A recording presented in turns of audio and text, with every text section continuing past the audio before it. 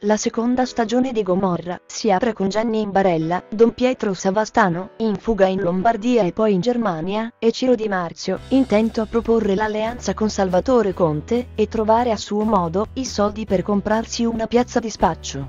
Per farlo, uccide l'autista del portavalori assaltato. Ma sa anche come affondare le indagini sul tentato omicidio di Jenny, sul quale la polizia indaga. Nei primi due episodi, diretti da Stefano Sollima, che firma anche la supervisione artistica, della fiction ispirata dall'omonimo romanzo di Roberto Saviano, si delineano le due fazioni in guerra. Da una parte i Savastano, sostenuti dai fedelissimi di Don Pietro, dall'altra il clan Conte. Di questo fa parte Ciro, e la new entry, Chanel. La prima puntata si chiude con Jenny e Don Pietro inseguiti dalla polizia dopo un attentato al quale sopravvivono.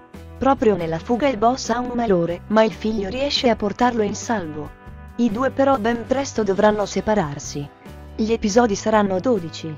Il soggetto è di Stefano Bises, Leonardo Fasoli e Roberto Saviano.